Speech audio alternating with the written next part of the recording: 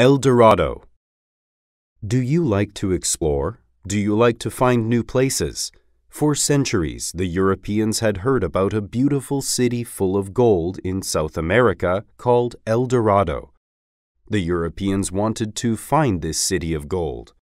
Finding this city would make them rich. They imagined a golden city with golden streets. In fact, the Europeans had already found people in South America with gold, so they believed there was a place of great wealth hidden somewhere.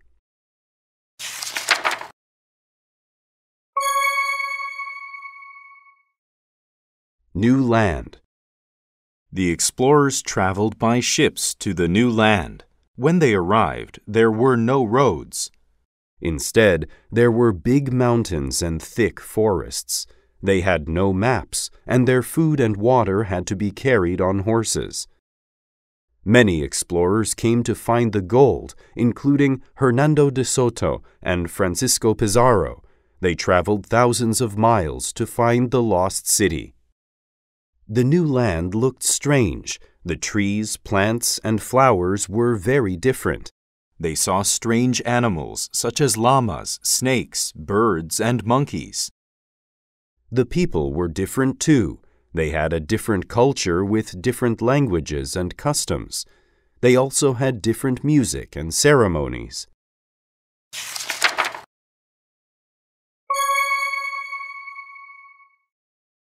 Looking for gold. The Spanish found only small amounts of gold. They kept on looking for El Dorado. They believed it was somewhere there. The Spanish explorer Gonzalo Jimenez de Quesada, as well as others, fought the local people. Many people died because of this gold.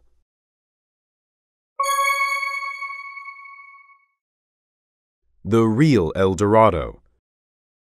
The Spanish later heard that El Dorado was a person. He was head of the Muisca people who lived high in the mountains in eastern Colombia.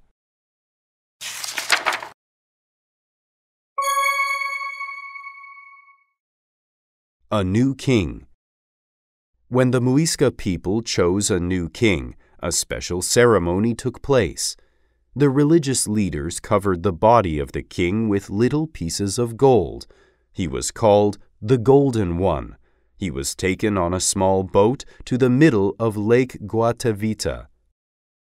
The king jumped into the water and washed off the gold. Gold and jewels were also thrown into the lake as an offering to the god of the lake. The Muisca people watched, played music, danced, and sang.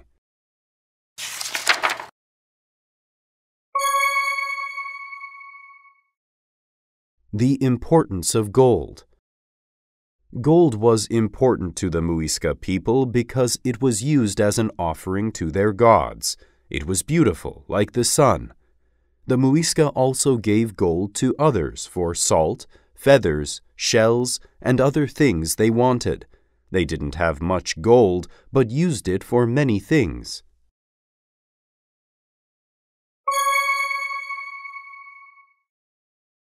How to get the gold. The Spanish knew that there was gold in Lake Guatavita, but they had to find a way to get it out. The Spanish emptied some of the lake in the year 1545. They found hundreds of pieces of gold around the edge where they had emptied the lake. However, they did not find the large amount of gold they wanted.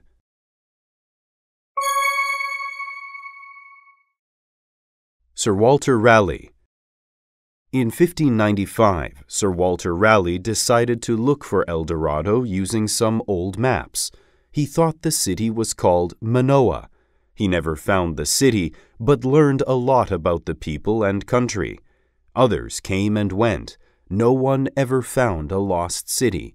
No one found mountains of gold. Is the lost city still there, waiting to be found?